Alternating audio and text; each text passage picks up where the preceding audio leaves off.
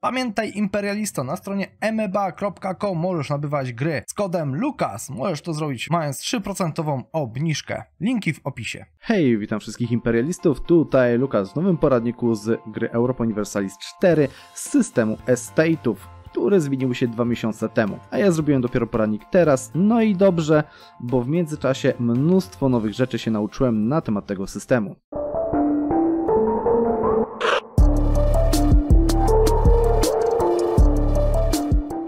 Ogólnie system estate'ów po zmianach ma lepiej odzorowywać e, to, co działo się naprawdę w rzeczywistości, w historii e, świata, gdzie były różne stany e, w społeczeństwie, które zyskiwały swoje przywileje nadawane przez władcę.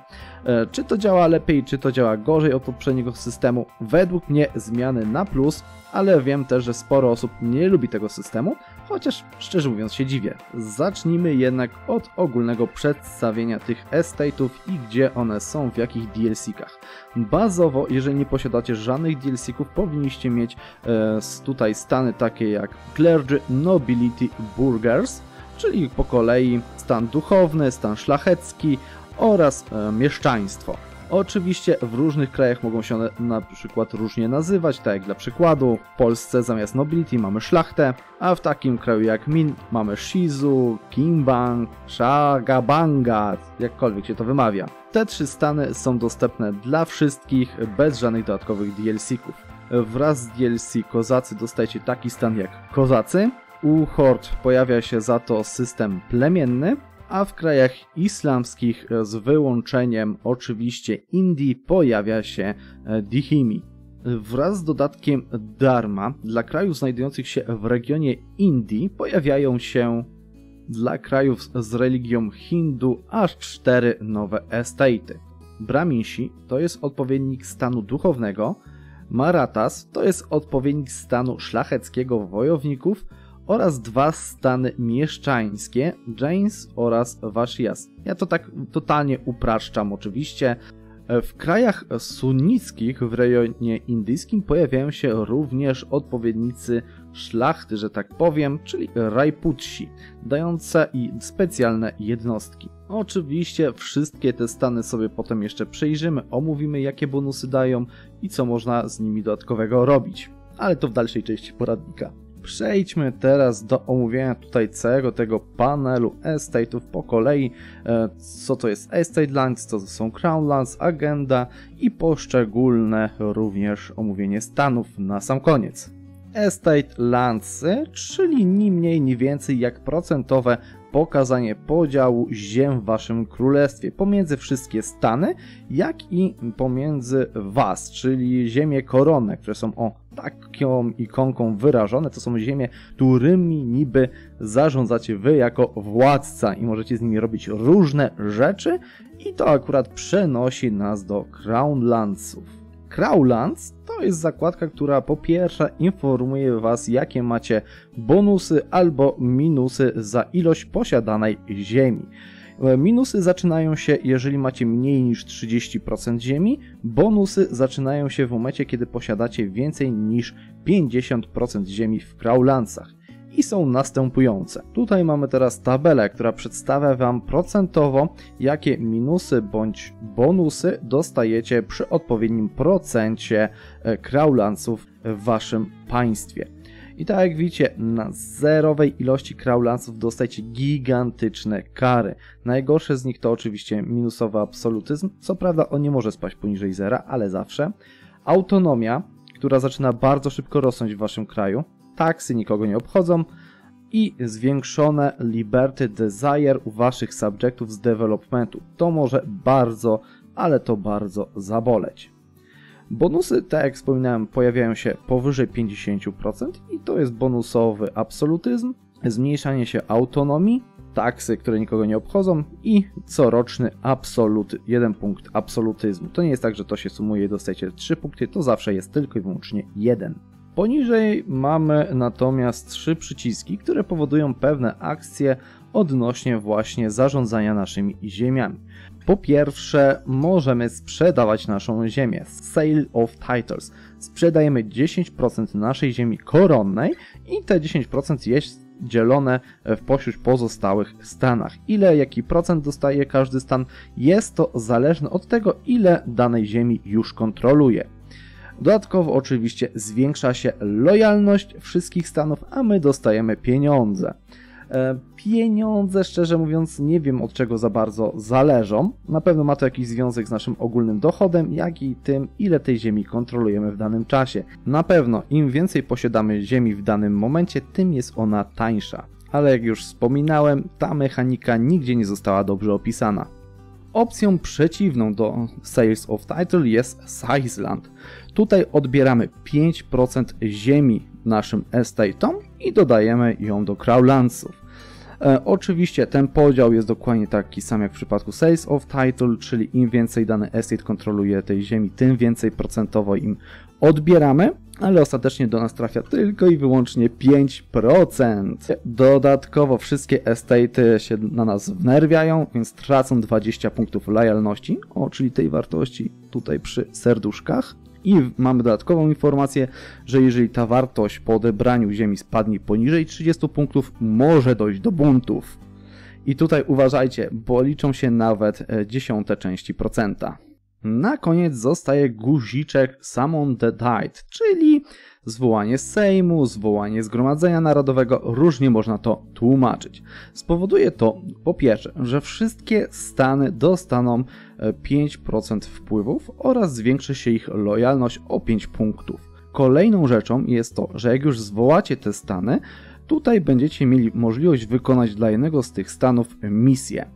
E, zawsze macie do wyboru tylko i wyłącznie trzy stany, więc w momencie, kiedy macie ich 4 albo ich 5, e, będą się tutaj losowały te stany, dla których możecie wykonać misję. Misji jest dość sporo w ramach każdego stanu, są one również losowe z tego co zauważyłem i warto wybierać te, które jesteśmy w stanie wykonać albo jak najszybciej, żeby móc zwołać zgromadzenie za kolejnych 5 lat, albo takie, które dają nam najlepsze korzyści, typu tańszy doradca, typu dodatkowe pieniądze, rozwój developmentu w danej prowincji, albo claimy na sąsiednie prowincje. Tutaj zostawiam to każdemu, niech sam się wczyta, niech sam patrzy, które misje najłatwiej mu wykonać, albo które misje są mu najpotrzebniejsze. Wykonanie danej misji, czyli jak tutaj pap od nas żąda stan duchowny, żeby mieć relację z papiestwem, 100 punktów. Kiedy wykonamy tą misję, to stan duchowny, jego lojalność wobec nas wzrośnie o 10 punktów, ale dodatkowo jeszcze dostajemy Yearly Papal Influence plus 1 punkt. Na wykonanie tych misji mamy zawsze 20 równych lat. Jeżeli nie wykonamy tej misji, no to Claire się na nas troszeczkę wkurzy i lojalność tego state'u spadnie o 5%. Nie wybierajcie misji, których nie wykonacie, bo wtedy blokujecie sobie tą agendę, a jednak te misje fajnie jest sobie wykonywać praktycznie non-stop. Albo przynajmniej do pewnego czasu, ale o tym za chwilę. Jak misję wybierzecie sobie, no to ona pojawia się tutaj w agenda, w tym ostatnim kwadraciku. Jak klikniecie na to, macie wprost napisane, co potrzebujecie zrobić i jeszcze czasem się podświetli jakiś obszar, jeżeli on czegoś dotyczy. E, warto jest o tym wspomnieć, że wszystkie te akcje mają cykl pięcioletni, cykl dla e, zwołania Sejmu, zgromadzenia i zaczyna się liczyć od momentu wykonania tej misji przejdźmy już troszeczkę niżej, czyli do stanów, które są w waszym królestwie. W tym wypadku mamy trzy: stan duchowny, szlachtę oraz mieszczaństwo. Każdy z tych stanów jest opisany przez e, dwie statystyki, mianowicie przez lojalność oraz przez wpływy danego stanu. Każdy stan może dać wam jakieś bonusy, oraz każdemu stanowi możecie sami nadać jakieś konkretne przywileje.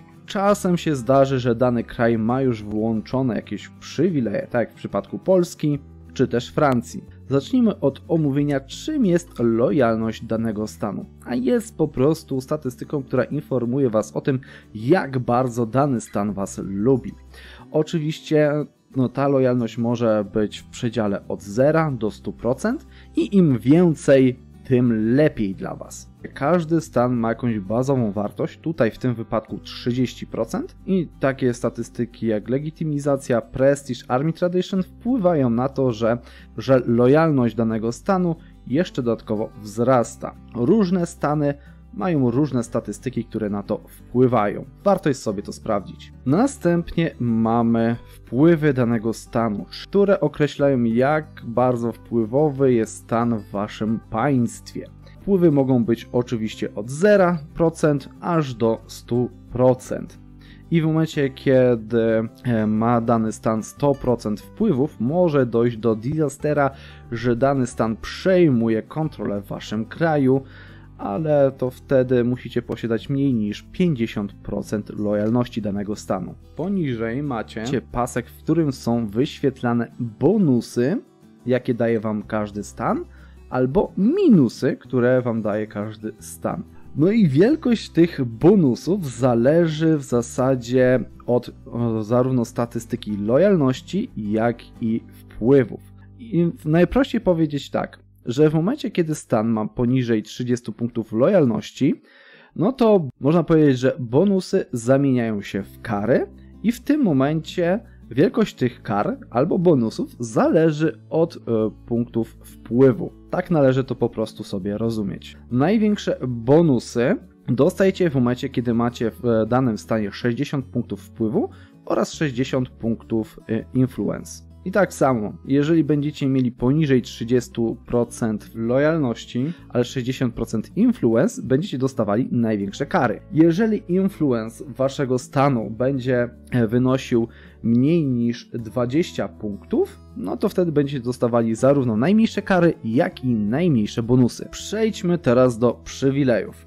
Przywileje w każdym ze stanów są różne, jak już możecie to pewnie zauważyć, różnią się ikonki, różnią się rzeczy, jakie mamy w danych stanach. I są one, tak można powiedzieć, tematycznie powiązane z danym stanem, czyli w szlachcie spodziewajcie się rzeczy militarnych, w mieszczaństwie rzeczy związanych z ekonomią, a znowu w duchowieństwie z rzeczy związanych z religią przeważnie. Są też takie rzeczy dość ogólne, jak zwiększenie governing capacity, które wy e, występują w każdym stanie, albo zwiększenie monthly power którego dostajecie, danego rodzaju, który też również występuje w każdym stanie. Myślę, że większość z Was ma problemy z przywilejami, bo nie za bardzo rozumie, co tutaj w ogóle się dzieje, jak wybierzemy dany przywilej.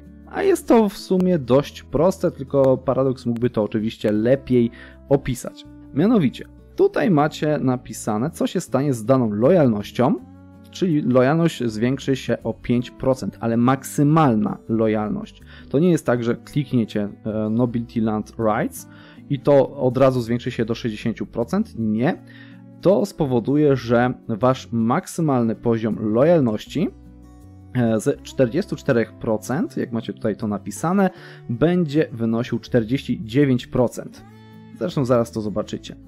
Przypadku wpływów to wzrasta po prostu o 5% natychmiast. Crowlanców to to Was informuje o tym, że Wy stracicie 5% crowlanców i 5% crowlanców pójdzie do przywileju Nobility.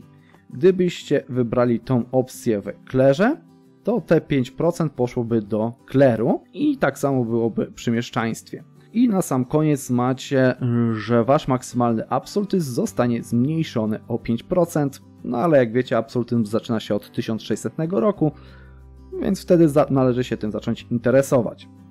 Modifiers to jest to, co zyskujecie e, w danym przywileju, jak bonus, który dostajecie. W tym wypadku Governing Capacity zostanie zwiększone o plus 100 punktów, a Effects to jest to, co jeszcze musicie dodatkowo zapłacić. Tutaj nic się nie wydarzy. Ale już w Nobility in Officer's Corps spowoduje to, że stracicie e, dodatkowe 15 punktów Army Tradition w danym momencie. I teraz zobaczcie, co tutaj nam się dzieje, kiedy kliknę Nobility Lands and Rights. Jakie rzeczy się zmienią? I zobaczcie, wy straciliście 5%, 5% doszło do Nobility. Zauważcie, że zwiększył się maksymalny poziom lojalności, jak i zwiększył się poziom wpływów w nobility. Ogólne omówienie przywilejów we wszystkich stanach to myślę, że zrobię sobie z tego osobny poradnik. Dajcie znać, czy chcecie w ogóle czegoś takiego, czy jednak czujecie, że nie potrzebujecie takich porad ode mnie. No to jak już wszystko sobie tutaj omówiliśmy, powiedzieliśmy co czym jest, mam nadzieję, że w sposób zrozumiały, no to przejdźmy do tego, czym jest tutaj clue całego systemu estate'ów, czyli zarządzania e, zarówno ziemią koronną, jak i poszczególnymi estate'ami.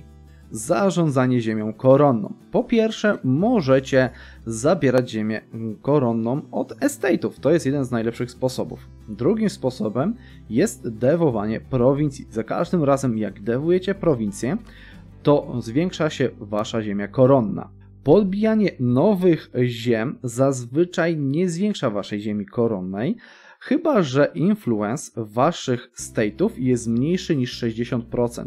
E, w momencie, kiedy mają 60%, e, a wy podbijacie jakieś nowe terytoria, no to niestety ziemie są dzielone procentowo pomiędzy wszystkie tutaj stany, w tym i was. W przypadku wysokiego absolutyzmu, gdzie wydaje mi się, że to jest więcej niż 50 punktów, ale nie jest to nigdzie napisane na Wikipedii, również podczas podbojów ziemia, którą zdobywacie, leci prosto do ziemi koronnej. I w zasadzie to wszystkie tutaj możliwości zwiększenia liczby ziemi koronnej. A teraz na co ją wydajecie?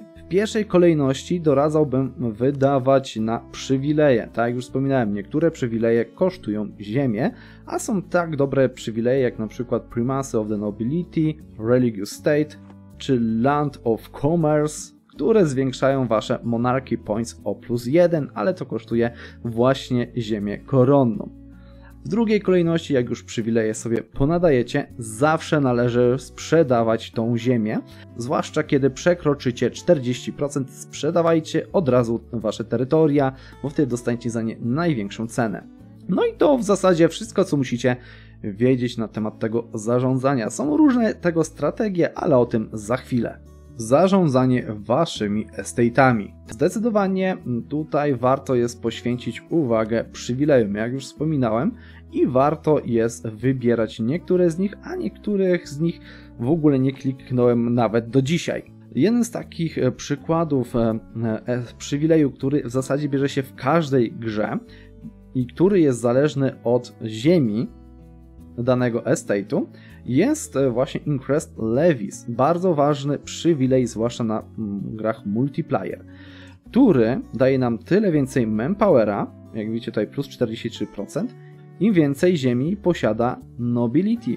I teraz jak zwiększać ziemię Nobility, bo możemy przecież, jak wiecie, sprzedać te tytuły, ale tutaj część ziem pójdzie też do innych stanów i już wam to pokazałem, jak to się robi.